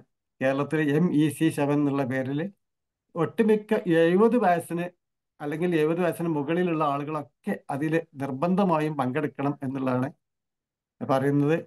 എല്ലാവരും ഉണ്ട് കേട്ടോ യുവാക്കളൊക്കെ ഉണ്ട്. മലപ്പുറത്തൊക്കെ ഉണ്ട്. ഒട്ടുമിക്ക അങ്ങാടികളിലും ഇത് ഇപ്പൊ വൈറലായിട്ടുണ്ട്. അത് നമ്മൾ കാണാതെ പോയത് ചിലപ്പോൾ നമ്മൾ അന്വേഷിക്കാഞ്ഞിട്ടായിരിക്കും. അല്ലെങ്കിൽ അതിനെക്കുറിച്ച് ചിന്തിക്കാഞ്ഞിട്ടായിരിക്കും. ഹാബിറ്റിനെ കുറിച്ച് നമ്മുടെ മൈൻഡിൽ ഒന്ന് ചിന്തിച്ചാൽ ഈ സാധനങ്ങളൊക്കെ നമ്മളെ അടുത്തേക്ക് വരും. ഇപ്പം പ്രവീണമ്മ പറഞ്ഞതുപോലെ നമ്മൾ എന്താണോ ചിന്തിക്കുന്നത് അതിന്റെ ഭാഗമായിട്ട് നമ്മൾക്ക് ആകർഷിക്കപ്പെടും എന്നുള്ളത്. അപ്പൊ അതിന്റെ വിഷയങ്ങളൊക്കെ നമ്മളിലേക്ക് വന്നോളാം. എന്തായാലും നല്ലൊരു ബി മാജിക്കിന് പറ്റിയൊരു ക്ലാസ് ആയിരുന്നു ഇന്നത്തെ ക്ലാസ് എല്ലാവർക്കും ഉൾക്കൊള്ളാൻ കഴിയുന്ന രീതിയിൽ അത് പ്രസന്റ് ചെയ്തു. Thank you thank you ma'am thank you Prasad research പുതിയൊരു കാര്യം കൂടി സാറ് ഷെയർ ചെയ്തത് നമുക്കൊന്ന് അനുഭവം നമുക്ക് എല്ലാവർക്കും അതിനെക്കുറിച്ച് കുറിച്ച് അന്വേഷിച്ച് നോക്കാം. എം ഇ സി അല്ലേ സാറേ അതെ അതെ. എം ഇ സി സെവൻ അത് യൂട്യൂബിൽ അടിച്ചാൽ പെട്ടെന്ന് കിട്ടും. യൂട്യൂബിൽ അടിച്ച എം ഇ സി സെവൻ ആ എക്സസൈസ് ആദ്യം മുതൽ അവസാനം വരെ ഉണ്ട് കാണിക്കുന്നുണ്ട്. എം ഇ സി എന്നാൽ ശവനോ ആ? ഏഴ് seven M E C seven okay. ശരി ശരി. ഓക്കെ നോക്കാം. താങ്ക് യു ഒരു പുതിയ കാര്യം കൊണ്ട് നമ്മൾ പഠിച്ചില്ല? നമുക്ക് സെർച്ച് ചെയ്ത് നോക്കാം. ക്ലാസ് ഒക്കെ കഴിഞ്ഞു. പേരൊന്ന് ചാറ്റിൽ ഇട്ടാ നന്നായിരിക്കും. ചാറ്റിലൊന്ന് ഇട്ടേക്കുവോ പേര് okay thank you Razak sir okay Athira ma'am പറഞ്ഞോളൂ. ഗുഡ് മോർണിംഗ് ഓൾ ഇന്ന് മാമിന്റെ ക്ലാസ് കേട്ടപ്പോ നല്ല ക്ലാസ് ആയിരുന്നു. നല്ല എനർജി പറഞ്ഞ ക്ലാസ് ആയിരുന്നു എന്നും മാമിന്റെ ക്ലാസ് അങ്ങനെ തന്നെയാണ്. രണ്ട് പോയിന്റ് ആണ് എനിക്ക് സ്ട്രൈക്ക് ചെയ്തത്. ഒന്നാമത്തെ പോയിന്റ് നമ്മുടെ നാട്ടിൽ പൊതുവെ കാണുന്ന ട്രെൻഡാണ് കേട്ടോ. പൊതുവെ ആളുകൾ ജോലിയുള്ള ആളുകൾ റിട്ടയർഡ് ലൈഫിന് വേണ്ടിയിട്ട് ഇങ്ങനെ വെയിറ്റ് ചെയ്തിരിക്കുമായിരിക്കും കാരണം ഈ സ്ട്രെസ് നിറഞ്ഞ ലൈഫ് ഒന്ന് നിർത്തി വെച്ചിട്ടൊന്ന് റെസ്റ്റ് എടുക്കാന്നുള്ള ലക്ഷ്യത്തോടു കൂടിയാണ് പലരും ജോലി ചെയ്യുന്നത്. അപ്പം എനിക്കറിയാവുന്ന പല സ്ത്രീകളുണ്ട്. അവർ നന്നായിട്ട് നല്ല ഹൈ പൊസിഷനിൽ വർക്ക് ചെയ്യുന്ന ഗവൺമെന്റ് എംപ്ലോയീസ് ആണ്. ഒരുപാട് ഡ്യൂട്ടീസ് ഒരേ സമയം വളരെ എഫിഷ്യന്റ് ആയിട്ട് ഡീൽ ചെയ്യുന്ന ആളുകളായിരിക്കും. അവർ ഈ വീട്ടിലെ ജോലി അത് കഴിഞ്ഞ് ഓഫീസിലെ ജോലി ഇതൊക്കെ ചെയ്ത് ഇങ്ങോട്ട് ക്ഷീണിച്ച് റിട്ടയർഡ് ആവുന്ന ആ ഒരു മൊമെന്റ് തൊട്ട് അങ്ങോട്ട് റെസ്റ്റ് എടുക്കാൻ തുടങ്ങാം വല്ലാത്ത റിലാക്സിംഗ് പൊസിഷനിലേക്ക് എന്റർ ചെയ്യും. വീട്ടിലിരിക്കുന്നു നല്ല സുഖമായിട്ട് ഫുഡ് കഴിക്കുന്നു വളരെ കൂളായിട്ട് ഇങ്ങനെ ഇരിക്കും. ഏകദേശം ഒന്നൊന്നര വർഷം ഇങ്ങനെ പോകും. അത് കഴിഞ്ഞാൽ പെർമനന്റ് ആയിട്ട് എന്തെങ്കിലും ഒരു ഭയങ്കര അസുഖം വരികയാണ്. പല ആൾ പല ലേഡീസിനെ എനിക്കറിയാം. അവർ ഇങ്ങനെ അസുഖം വന്നിട്ട് ബുദ്ധിമുട്ടി അവരെ റിട്ടയർഡ് ലൈഫ് ഒന്ന് എൻജോയ് ചെയ്ത് വരുമ്പോഴേക്കും മരണപ്പെട്ടു പോകുന്ന ഒരവസ്ഥ ഞാൻ ഒരുപാട് കണ്ടിട്ടുണ്ട്. അതേസമയം റിട്ടയർഡ് ആവുന്നതോടുകൂടി അവരുടെ ഇൻട്രസ്റ്റുകളിലേക്ക് അവർ പണ്ട് ചെയ്യാൻ സമയം കിട്ടാത്ത കാര്യങ്ങളിലേക്ക് അവർ അവരുടെ പല പല ഹോബീസിലേക്ക് എന്റർ ചെയ്യുന്ന ആളുകൾ അവർ പുതിയ പുതിയ കാര്യങ്ങൾ പഠിക്കാൻ ആഗ്രഹിച്ച് അതിലേക്ക് പുതിയൊരു ലൈഫ് സ്റ്റാർട്ട് ചെയ്യുന്ന ആളുകൾ പലപ്പോഴും നല്ല ലൈഫ് അതായത് ഹെൽത്തി ആയിട്ട് ജീവിച്ചു പോകുന്നത് കാണാറുണ്ട്. എപ്പോഴാണ് നമ്മൾ റിട്ടയർഡ് ലൈഫിലേക്ക് എന്റർ ചെയ്ത് വെറുതെ ഇരിക്കാൻ ആഗ്രഹിക്കുന്നത് അന്ന് തൊട്ട് നമ്മളുടെ വയസ്സാവുന്ന കാലം തുടങ്ങുകയാണെന്നാണ് ഞാൻ മനസ്സിലാക്കിയിട്ടുള്ളത്. അതുകൊണ്ട് ഈ റിട്ടയർഡ് ആവുന്ന ആളുകളോട് ഞാൻ പ്രത്യേകം പറയാറുണ്ട് നിങ്ങൾ റിട്ടയർഡ് ആയി കഴിഞ്ഞാൽ നിങ്ങൾക്ക് നല്ല സമാധാനമായിരിക്കും വീട്ടിൽ വെറുതെ ഇരിക്കുക ഭക്ഷണം കഴിക്കുക അതിങ്ങനെ എൻജോയ് ചെയ്ത് ആസ്വദിച്ച് അങ്ങോട്ട് ജീവിച്ച് വരുന്ന വന്ന് തുടങ്ങുമ്പോഴേക്കും നിങ്ങൾക്ക് അസുഖം വരും. നിങ്ങൾ ശ്രദ്ധിക്കണം ഒരിക്കലും നിങ്ങൾ വെറുതെ ഇരിക്കരുത്. ആക്റ്റീവ് ആയിക്കൊണ്ടേയിരിക്കും. നമ്മൾ വെറുതെ ഇരിക്കാനല്ല നമ്മളെ ബോഡി ഉണ്ടാക്കിയിരിക്കുന്നതെന്ന് പറയാറുണ്ട്. ഇത് പറയാൻ കാരണം എന്താ വെച്ചാൽ റിട്ടയർഡ് ആവുന്നത് തന്നെ റെസ്റ്റ് എടുക്കാൻ വേണ്ടിയിട്ടാണ് വിചാരിക്കുന്നത്. അത് തെറ്റാണെന്നാണെന്ന് വ്യക്തമായിട്ട് നമ്മൾ മനസ്സിലാക്കിയിരിക്കണം. വളരെയധികം നമ്മൾ പ്ലാൻഡ് ആയിരിക്കണം. ആരെങ്കിലും നമ്മൾ വർക്കിംഗ് ഒക്കെ ആണെങ്കിൽ റിട്ടയർഡ് ആവുന്നതിന് വേണ്ടി കാത്തിരിക്കരുത്. റിട്ടയർഡ് ആയി കഴിഞ്ഞാൽ നിങ്ങൾക്ക് ഇഷ്ടമുള്ള കാര്യങ്ങളിലേക്ക് നിങ്ങൾ എന്തായാലും എന്റർ ചെയ്യണം. എക്സസൈസ് ലൈഫിന്റെ പാർട്ടാക്കി മാറ്റും ഇത് വളരെ ഇമ്പോർട്ടന്റ് ആയിട്ടുള്ള കാര്യമാണ്. എനിക്ക് വ്യക്തിപരമായിട്ടും അല്ലാതെ അറിയുന്ന ഒരുപാട് കേസുകൾ ഞാൻ ശ്രദ്ധിച്ചിട്ടുള്ള കാര്യമാണ്. നിങ്ങൾക്ക് അറിയുന്ന ആരെങ്കിലും ഉണ്ടെങ്കിൽ നിങ്ങൾ പറഞ്ഞു കൊടുക്കണേ കാര്യം. ഇത് വളരെ പ്രധാനപ്പെട്ട ഒരു കാര്യമാണ് കേട്ടോ പിന്നെ രണ്ടാമത്തെ കാര്യം നമ്മൾ നമ്മൾക്ക് നമ്മളുടെ ഒരു ഹാബിറ്റ് നമ്മുടെ ഇഷ്ടമുള്ള കാര്യങ്ങളൊക്കെ കൂട്ടിച്ചേർത്തിട്ട് ചെയ്യുന്ന കാര്യം. നമ്മുടെ എനിക്ക് തോന്നുന്നത് ആറ്റോമിക് ഹാബിറ്റ്സ് എന്ന് പറഞ്ഞ പുസ്തകത്തിൽ പറയുന്നുണ്ട്. നമുക്ക് ചെയ്യാൻ ഇഷ്ടമില്ലാത്ത കാര്യങ്ങൾ ചെയ്തേ നിർബന്ധമുള്ള കാര്യങ്ങൾ അതായത് എക്സസൈസ് റീഡിങ് അങ്ങനത്തെ കാര്യങ്ങളൊക്കെ നമ്മുടെ ഡെവലപ്മെന്റിന് വളരെ അത്യാവശ്യമുള്ള കാര്യമാണ്. അപ്പൊ നമ്മൾ ഇഷ്ടമുള്ള കാര്യങ്ങളിലേക്ക് ആഡ് ചെയ്ത് കൊടുക്കുക കൂട്ടിക്കെട്ടുക. അങ്ങനെ ചെയ്ത് കഴിഞ്ഞാൽ നമുക്ക് ഈസി ആയിട്ട് ചെയ്യാൻ പറ്റുമെന്ന്. അങ്ങനെ ചെയ്തിട്ട് എന്റെ ലൈഫിൽ എനിക്ക് എക്സിക്യൂട്ട് ചെയ്ത വളരെയധികം ഉപകാരപ്രദമായിട്ടുള്ള ഒരു കാര്യം പറയാം. എന്റെ കല്യാണം കഴിഞ്ഞ സമയത്ത് എന്റെ ഹസ്ബൻഡും ആയുർവേദ ഡോക്ടറാണ് അപ്പൊ ഞാൻ കല്യാണം കഴിഞ്ഞ സമയത്ത് ഞാൻ എക്സ്പെക്ട് ചെയ്തത് ഓ ഞങ്ങൾ രണ്ടുപേരും ഒരേ ഫീൽഡാണല്ലോ നല്ല രസമായിരിക്കും ഒരുപാട് കാര്യങ്ങൾ സംസാരിക്കാം. അങ്ങനെയൊക്കെ ഞാൻ വിചാരിച്ചിരിക്കുകയായിരുന്നു. പക്ഷെ കല്യാണം കഴിഞ്ഞ സമയത്ത് മനസ്സിലായത് അദ്ദേഹത്തിന് ബിസിനസ്സിലാണ് ഏറ്റവും കൂടുതൽ ഇൻട്രസ്റ്റ് എനിക്ക് ഒട്ടും ഇഷ്ടമില്ലാത്ത സംഭവമാണ് ബിസിനസ് ഈ മാർക്കറ്റിംഗ് അത് ഇതെന്നൊക്കെ പറഞ്ഞാൽ എനിക്ക് ഉറക്കം വരും. അങ്ങനെ സത്യം പറഞ്ഞാൽ ഞങ്ങൾ തമ്മിൽ സംസാരിക്കാൻ ഒരു ടോപ്പിക് ഇല്ല എന്നുള്ള അവസ്ഥയാവും. കാരണം എന്റെ ഇൻട്രസ്റ്റ് എന്ന് പറഞ്ഞാൽ സാഹിത്യം അത് ഇത് ആർട്ട് പാട്ട് അതിൽ അതിലോരോ പുസ്തകങ്ങൾ വായിക്കുക കവിതകൾ വായിക്കുക അതൊക്കെയായിരുന്നു എന്റെ ഇൻട്രസ്റ്റ് റീഡിംഗ് ആയിരുന്നു. അപ്പോൾ എനിക്ക് എഡ്യൂക്കേഷൻ പരമായിട്ടും പുസ്തകങ്ങളിലുള്ള കാര്യങ്ങൾ ഡിസ്കസ് ചെയ്യാനൊക്കെയായിരുന്നു കൂടുതൽ ഇഷ്ടം. പക്ഷെ അദ്ദേഹത്തിന് ആളുകളായിട്ട് കമ്മ്യൂണിക്കേറ്റ് ചെയ്യുക സംസാരിക്കുക മാർക്കറ്റിംഗ് ചെയ്യുക ഇതൊക്കെ ആയിരുന്നു സംസാരിക്കാൻ ഇഷ്ടം. അപ്പൊ എനിക്കിത് ഭയങ്കര ബോറിംഗ് ആയി തുടങ്ങി. നമ്മൾ തമ്മിൽ സംസാരിക്കാൻ ടോപ്പിക് ഇല്ലാതെ. പക്ഷെ എനിക്ക് അങ്ങനെ സംസാരിക്കാൻ ടോപ്പിക് ഇല്ലാതെ. നമ്മൾ വീട്ടിലെ കാര്യങ്ങൾ മാത്രം ഡിസ്കസ് ചെയ്യാൻ എനിക്ക് ഇഷ്ടമല്ല അപ്പൊ എനിക്ക് പ്രൊഫഷണൽ ആയിട്ട് നമുക്ക് എങ്ങനെ പരസ്പരം കമ്മ്യൂണിക്കേറ്റ് ചെയ്യാൻ കുറച്ചും കൂടി എഫിഷ്യന്റ് ആവാമെന്ന് ചിന്തിക്കാൻ തുടങ്ങിയപ്പോൾ പിന്നെ ഞാൻ ഇദ്ദേഹം പറയുന്ന വാക്കുകൾ ബിസിനസ് സംബന്ധമായിട്ടുള്ള കാര്യങ്ങളൊക്കെ ഗൂഗിൾ ചെയ്യാൻ തുടങ്ങി. ഇത് എന്ത് സംഭവം എന്ന് അറിയാൻ വേണ്ടിയിട്ട്. അപ്പൊ അതും എനിക്ക് ബോറിംഗ് ആയി തുടങ്ങി. പിന്നെ ഞാൻ കണ്ടെത്തിയ ഒരു മാർഗമാണ് നിങ്ങൾ വായിച്ചിട്ടുള്ള കുറച്ച് പുസ്തകങ്ങൾ എനിക്ക് തരൂ. കാരണം നിങ്ങൾ ചിന്തിക്കുന്ന എനിക്ക് മനസ്സിലാവുന്നില്ല പറയുന്ന എനിക്ക് മനസ്സിലാവുന്നില്ല. അതുകൊണ്ട് ഞാൻ കുറച്ച് പുസ്തകം വായിച്ചു നോക്കട്ടെ. അപ്പൊ അദ്ദേഹം ഒരു ചെറിയ ലൈബ്രറി ഉണ്ട്. അപ്പൊ രണ്ട് പുസ്തകങ്ങൾ എനിക്ക് ഇൻട്രൊഡ്യൂസ് ചെയ്തു ഒന്ന് the magic of thinking big എന്നൊരു പൂർണ പുസ്തകം. വേറെ ഒന്ന് ധനികനാവാൻ ഒരു മാർഗരേഖ. ഈ രണ്ട് പുസ്തകമാണ് എനിക്ക് റെഫർ ചെയ്തത്. അതെനിക്ക് വളരെയധികം യൂസ്ഫുൾ ആയിട്ട് തോന്നി. പിന്നെ ഞാൻ കണ്ടുപിടിച്ച ഒരു മാർഗമാണ് ഇദ്ദേഹം ഒരുപാട് ട്രെയിനിങ്ങൾ അറ്റൻഡ് ചെയ്യും. ഒരുപാട് സെമിനാർ വെബിനാർ ഒക്കെ അറ്റൻഡ് ചെയ്യും. അപ്പൊ ഇതിനൊക്കെ പോയിട്ടുള്ള ബ്രോഷ് ബ്രോഷേഴ്സും അവിടെ നിന്ന് കിട്ടുന്ന സ്റ്റഡി മെറ്റീരിയൽസും ഒക്കെ ബുക്സ് ആയിട്ട് വീട്ടിൽ കൊണ്ടുവന്ന് വെക്കും. അവിടുന്ന് വാങ്ങിക്കുന്ന സെൽഫ് ഹെൽപ്പ് ബുക്സ് കൊണ്ടുവരും ഫ്രണ്ട്സിന്റെ അടുത്ത് കുറെ പുസ്തകങ്ങൾ കൊണ്ടുവരും. പക്ഷെ അദ്ദേഹം അങ്ങനെ വായിക്കുന്ന ഹാബിറ്റ് ഒരുപാട് വായിക്കുന്ന ഹാബിറ്റുള്ള ആളല്ല. പക്ഷെ ഞാനാണ്. അപ്പൊ ഞാൻ ഈ പുസ്തകങ്ങൾ വായിക്കാൻ തുടങ്ങി. ഈ വായിച്ച് വായിച്ച് അത് ശരിക്കും എന്റെ ലൈഫ് അങ്ങോട്ട് ഡയറക്ഷൻ അങ്ങോട്ട് മാറ്റി വിട്ടു. ശരിക്കും എന്റെ ഒരു പേഴ്സണൽ ട്രാൻസ്ഫോർമേഷൻ അത് വലിയ ഒരു സപ്പോർട്ടായി എന്റെ ഈ കവിതകൾ വായിക്കുക കഥകൾ വായിക്കുക അതിലിങ്ങനെ വിഷമിച്ചിരിക്കുക അങ്ങനത്തെ ഒരു പ്രകൃതമായിരുന്നു എന്റെ. പക്ഷെ അത് ശരിക്കും കൂടെ മാറ്റിയിട്ട് എന്റെ ആളെ തന്നെ മാറ്റി കളഞ്ഞു. ശരിക്കും എന്റെ ലൈഫ് മാറ്റിയിട്ട് എനിക്ക് ബിസിനസ്സിൽ അല്ലെ ഒരു ഓണ്ടർപ്രോണർ ആണെന്നൊരു ആഗ്രഹം എന്നെ ഉണ്ടായി. ശരിക്കും ഇപ്പൊ ഞാൻ സെർവ് ചെയ്യുന്നത് അതുകൊണ്ടാണ്. അതുകൊണ്ട് അപ്പൊ അത് പഠിച്ചതിന് ശേഷമാണ് ഞാൻ ശരിക്കും ഏൺ ചെയ്യാൻ തുടങ്ങിയത്. ക്യാഷ് ഉണ്ടാക്കാൻ തുടങ്ങിയത്. ഇപ്പൊ ഞങ്ങൾ തമ്മിൽ ഞങ്ങൾ തമ്മിൽ എത്രയും എപ്പോഴും നമ്മൾ സംസാരിക്കുന്ന വിഷയം ബിസിനസ് അത് ഇതൊക്കെയാണ്. കാരണം ഞങ്ങൾ രണ്ടുപേർക്ക് ഇൻട്രസ്റ്റഡ് ആയ ടോപ്പിക് ആയിട്ട് അത് മാറി എന്നുള്ളതാണ്. ഇപ്പൊ ഞങ്ങൾ ഒരുമിച്ച് ഒരു കമ്പനി നടത്തുന്നു ഞങ്ങൾ ആ കാര്യങ്ങൾ ഒരുമിച്ച് ഡിസ്കസ് ചെയ്യുന്നു. അദ്ദേഹത്തിന് എന്തെങ്കിലും സംശയങ്ങൾ ഉണ്ടെങ്കിൽ തിയറിയിൽ എന്തെങ്കിലും സംശയങ്ങൾ ഉണ്ടെങ്കിൽ എന്നോട് ചോദിക്കും. അപ്പൊ ഞാൻ പറഞ്ഞു കൊടുക്കും. കാരണം ഞാൻ അത്രയും പുസ്തകങ്ങൾ വായിച്ചിട്ടുണ്ട്. സെൽഫ് ഹെൽപ്പിംഗ് ബുക്സ് ആണെങ്കിൽ ഇപ്പൊ ഇവിടെ വന്ന് പലപ്പോഴും ഞാൻ ക്ലാസ് എടുക്കാറുണ്ട്. വേറെ കമ്മ്യൂണിറ്റികൾ ക്ലാസ് എടുക്കാറുണ്ട്. അപ്പൊ ഇതൊക്കെ വായിച്ചത് ഈ ഒരു ഹാബിറ്റ് അതൊരു അന്ന് തുടങ്ങിയ ഹാബിറ്റാണ് ഒരു ഏഴ് വർഷമായി കല്യാണം കഴിഞ്ഞിട്ട്. അന്ന് തുടങ്ങിയ റീഡിങ് ഹാബിറ്റാണ് ഇത് ഇങ്ങനെ എന്നെ ഇങ്ങനെ ബിൽഡ് ചെയ്തെടുത്തത്. അപ്പൊ നമ്മുടെ ലൈഫിൽ അങ്ങനത്തെ കാര്യങ്ങൾ ചെയ്യുമ്പോൾ നമ്മൾ അറിയാതെ ട്രാൻസ്ഫോർമേഷൻ നമുക്ക് സംഭവിക്കുന്നുള്ളതാണ് അപ്പൊ അത് എനിക്ക് വലിയൊരു ഹെൽപ്പ് ഹെൽപ്പായിരുന്നു നമുക്ക് ഇഷ്ടമുള്ള ഹാബിറ്റ് നമുക്ക് പുതിയ കാര്യം പഠിക്കാനായിട്ട് ഉപയോഗിക്കുക എന്നുള്ള അല്ലെങ്കിൽ പുതിയ ഒരു കാര്യം ഡെവലപ്പ് ചെയ്തെടുക്കാൻ നമ്മൾ ഇഷ്ടമുള്ള കാര്യത്തിനോട് കൂട്ടിക്കെട്ടുക എന്നുള്ള കാര്യം. ശരിക്കും നല്ലൊരു കാര്യം തന്നെയാണത്. രണ്ട് കാര്യങ്ങൾ ഞാൻ പറഞ്ഞു തന്നേ ഉള്ളൂ. Thank you oh thank you doctor Athira great എന്തായാലും വളരെ സന്തോഷം. കാരണം രണ്ട് പോയിന്റുകളാണ് പറഞ്ഞത്. നമ്മുടെ റിട്ടയർമെന്റ് ലൈഫിൽ പലരും റിട്ടയർ ചെയ്ത് കഴിഞ്ഞാൽ ഒരു ഭാഗത്ത് ഒതുങ്ങി അല്ലെങ്കിൽ ആ ഒരു എൻജോയ്മെന്റിലേക്ക് പോകുന്നതിനോടൊപ്പം തന്നെ നമ്മളൊരു ഹാബിറ്റ് അല്ലെങ്കിൽ നമ്മുടെ ഹെൽത്ത് കോൺഷ്യസ് ഒക്കെ വളരെ ശ്രദ്ധിക്കണം എന്ന് ഡോക്ടർ കൂട്ടിച്ചേർത്തു. അതുകൂടാതെ എങ്ങനെയാണ് റീഡിങ് എന്നുള്ള ഹാബിറ്റ് തന്റെ ജീവിതത്തിലെ പങ്കാളിയെ കൂടി കൂട്ടിച്ചേർത്തുകൊണ്ട് ട്രാൻസ്ഫോർമേഷനിൽ കൊണ്ടുവരുന്നത് ഡോക്ടർ വളരെ വ്യക്തമായിട്ട് നമുക്ക് കാണിച്ചു തന്നു. അപ്പൊ നോക്കുക ഒരു ഹാബിറ്റ് തന്റെ ലൈഫ് കൂടി ബെറ്റർ ആക്കാൻ അത് കുറച്ചുകൂടി ഹാപ്പിനെസ് കൊണ്ടുവരാൻ ആ ഹാബിറ്റിനെ ആ രീതിയിലേക്ക് ട്രാൻസ്ഫോം ചെയ്തപ്പോൾ ഡോക്ടറും ഹാപ്പി ഹസ്ബൻഡും ഹാപ്പി അപ്പൊ നോക്കൂ ഒരു ഹാബിറ്റ് എങ്ങനെയാണ് ജീവിതത്തിൽ ഒരു ട്രാൻസ്ഫോർമേഷനിലേക്ക് കൊണ്ടുവരാൻ ആതിര കണ്ട ഡോക്ടർ ആതിര കണ്ടെത്തിയ വഴികളിൽ നിന്ന് നമ്മൾ ഒന്ന് കണ്ണുറപ്പിക്കുന്ന ഒരു കാര്യം തന്നെയാണ്. Thank you for sharing thank you so much thank you അതിരമ്മ ഇനി ജോസഫ് പറഞ്ഞോളൂ.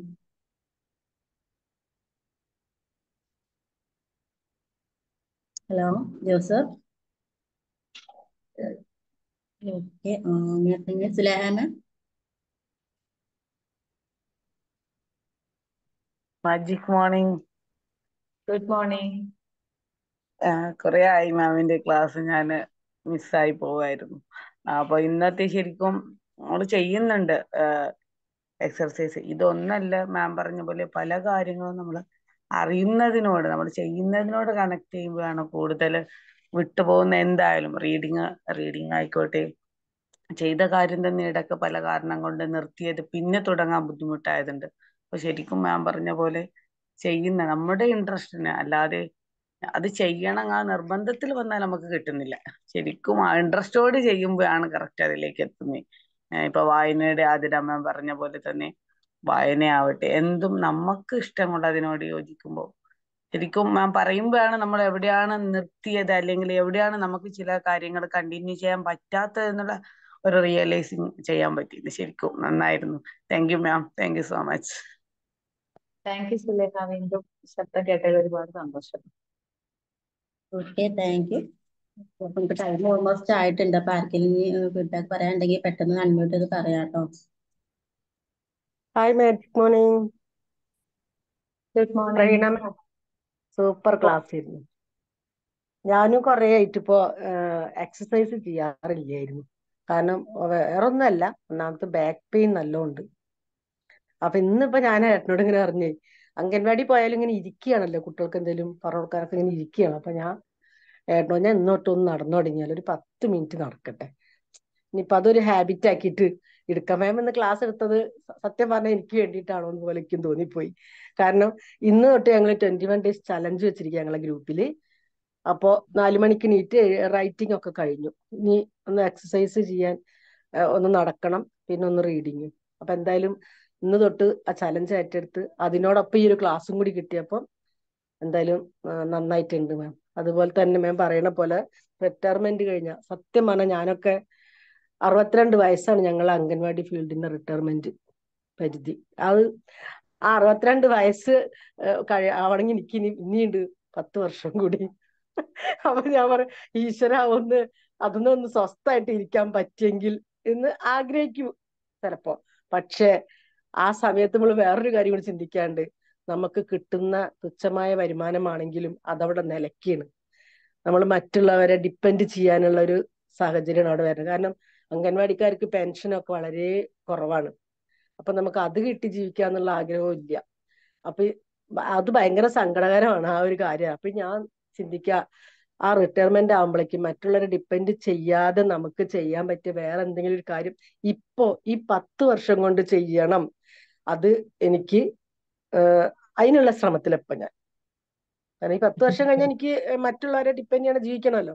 അപ്പൊ അതിന് വേണ്ടിയുള്ള ഒരു ഇത് ഇപ്പോഴേ ഞാൻ തുടങ്ങണം ഇപ്പൊ നമ്മൾ കുറച്ചും കൂടി ചെറുപ്പമാണ് നമുക്കിപ്പോ അതിന് പറ്റിയ എന്താ പറയാ ആരോഗ്യവും കാര്യങ്ങളൊക്കെ ഉണ്ട്. നമുക്ക് ഇപ്പൊ അത് ചെയ്യാനുള്ള മനസ്സും ഉണ്ട് അപ്പൊ അതിന് വേണ്ടിയുള്ള ശ്രമമാണ്. Okay ma'am. നല്ല ക്ലാസ് ആയിരുന്നു പിന്നെ എന്റെ ഏറ്റവും വലിയ എന്റെ കുടുംബ ഡോക്ടർ പറഞ്ഞ എന്റെ ആദര മാമാണ് എന്ത് കാര്യത്തിനും ഞാൻ ആദര മാമിനെ വിളിക്കാറ്. മാം എനിക്ക് നല്ല നല്ല കാര്യങ്ങൾ പറഞ്ഞു തരാറുണ്ട് മാമാണ് ഞങ്ങളുടെ family doctor. Okay thank you. സന്തോഷം.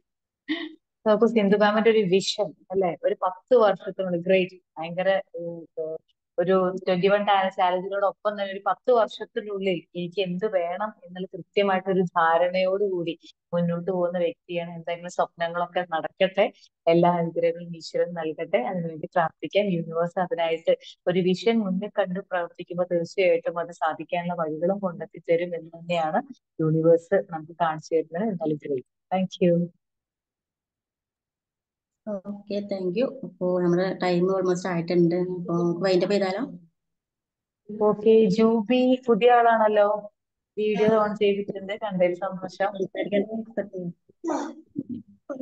ഞാൻ പുതിയ ആളല്ല ഞാൻ ഓൾറെഡി ഒരു നാല് വർഷം മുൻപ് വിമാജിക്കിൽ ഉണ്ടായിരുന്നതാണ് അതിനുശേഷം ഗ്യാപ്പിലായിരുന്നു പിന്നെ ഇപ്പോഴാണ് ജോയിൻ ഒരു മാസമായിട്ട് ക്ലാസ്സുകൾ അറ്റൻഡ് ചെയ്യാറുണ്ട്. മാമിന്റെ ക്ലാസ്സും കേൾക്കാറുണ്ട്. വീഡിയോ അങ്ങനെ ഓൺ ചെയ്യാറില്ല. എന്തായാലും ക്ലാസ് എനിക്ക് ഇഷ്ടപ്പെട്ടു കാരണം നല്ല ക്ലാസ് ആണ് ബിക്കോസ് നമുക്ക് കഷ്ടപ്പെട്ട് ചെയ്യുന്നതിനേക്കാൾ ഒരു കാര്യം ഇഷ്ടപ്പെട്ട് ചെയ്യുവാണെങ്കിൽ അത് ചെയ്യാനുള്ള ഒരു ഇൻട്രസ്റ്റ് കൂടും അത് തന്നെ ചെയ്യും. അപ്പൊ അതുകൊണ്ട് ഞാനും എക്സർസൈസ് ഒക്കെ ചെയ്യുന്നപ്പോൾ ഞാൻ ചെറുതായിട്ട് നടന്നുകൊണ്ടാണ് ഈ ക്ലാസ് കേട്ടത്. അപ്പൊ ഒരു ഇരുപത് മിനിറ്റ് നടക്കുകയും ചെയ്തു. അത്രയും നേരം ക്ലാസ് കേൾക്കുകയും ചെയ്തു. അപ്പൊ അതേപോലെ ഇനിയും കണ്ടിന്യൂ ചെയ്യണം എന്നാണ് ഒരു കൺസിസ്റ്റൻസിയോട് കൂടി മുന്നോട്ട് പോകണം എന്നാണ് ഞാനും ആഗ്രഹിക്കുന്നത്. അപ്പോ എന്തായാലും നല്ലൊരു ക്ലാസ് ആയിരുന്നു നല്ലൊരു അഡ്വൈസ് ആയിരുന്നു. എല്ലാ യാത്രയിലും ഒരുമിച്ച് പോകാനായിട്ട് ദൈവം അനുഗ്രഹിക്കട്ടെ. Thank you thank you very much thank you so much Musina മണിസാറും കൂടി പറഞ്ഞോ മാജിക് മോർണിംഗ് നല്ല ക്ലാസ് ആയിരുന്നു. പ്രത്യേകിച്ച് എനിക്ക് പറ്റിയ ക്ലാസ് ആണെന്ന് തന്നെ പറയാം. ഈ ബി മാജിക്കിന് റസാഖ് സാർ പറഞ്ഞ മാതിരി ബി കൾച്ചർ അതായത് നല്ല ശീലങ്ങൾ വളർത്തിയെടുക്കാൻ ഉതകുന്ന രീതിയിലുള്ള ഒരു ക്ലാസ് ആണ്. എന്ത് കാര്യവും നമ്മൾ ഹാബിറ്റ് ആക്കണമെങ്കിൽ അത് ഇഷ്ടത്തോടെ വളരെ താല്പര്യത്തോടെ അല്ലെങ്കിൽ സംതൃപ്തിയോടെ ഈസി ആയിട്ടുള്ള കാര്യത്തിൽ അങ്ങനെ ചെയ്ത് വന്നു കഴിഞ്ഞാൽ നമുക്കത് സാധിക്കും എന്നുള്ളതാണ്. അപ്പോൾ എന്റെ കാര്യം എന്ന് പറയാൻ കഴിഞ്ഞാൽ ഞാനൊരു റിട്ടയർഡ് എംപ്ലോയി ആണ്. അപ്പം ഈ നമ്മൾ ഒരു സീറ്റ് സ്പോട്ട് അതായത് ഒരു ബേക്കറി കണ്ടെത്തുന്നതിന് ഞാൻ ബി ആണ് ഇപ്പോൾ കണ്ടെത്തിയത്. അപ്പൊ അതിലിങ്ങനെ മുഴുകി പോകുന്നുണ്ട് വളരെ ഹാപ്പി ആയിട്ട്. Thank you thank you very much നല്ല presentation thank you very much great മണിസാർ കണ്ടോ? സീറ്റ് സ്പോട്ട് കണ്ടെത്തിയത് ബിമാജിക് ആയിട്ടാണ്. എന്തായാലും ഉഷാറാവട്ടെ താങ്ക് യു താങ്ക് യു അപ്പൊ എന്തായാലും നമുക്ക് ഇന്നത്തെ സെക്ഷൻ വൈൻഡപ്പ് ചെയ്യാം. പിന്നെ നമുക്ക് നല്ലൊരു ക്ലാസ് എടുക്കുന്ന പ്രവീണ മാമിനും എല്ലാ team മെമ്പേഴ്സിനും thank you thank you so much thank you ma'am thank you all